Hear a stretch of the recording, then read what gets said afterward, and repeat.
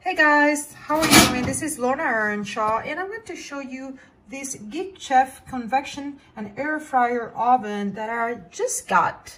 Just got it out of the box. It looks really nice. I like the quality of the silver. It looks very sleek, very uh, clean and it comes with all the accessories you need in order to use it as an air fryer. You can toast up to four slices here. Comes with a separate pan and also it comes with something that I appreciate, which is this removable uh, pan where you can get rid of all the breadcrumbs, which makes it so much easier to clean. A timer, it has lights in it, and also you can select the temperature.